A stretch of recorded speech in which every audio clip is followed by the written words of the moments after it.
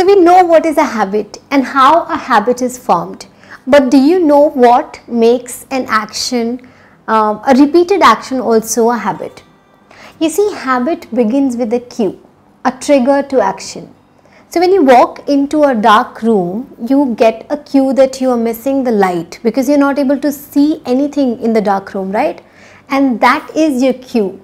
And that is why you reach out for the switches to take an action, which means that habits are triggered by a cue. Next comes a craving to change the state.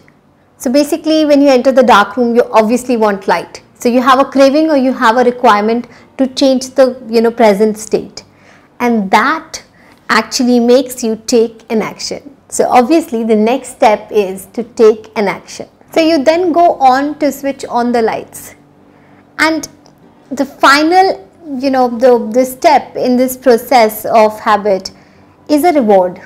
You know when you do something you do because you get something at the end of the process right and in this case when you're walking into the dark room it's a mild relief it's a comfort of being able to see your surroundings that results you know from turning on the switch and that is why this is a habit that we have that we automatically switch on the lights when we enter a dark room.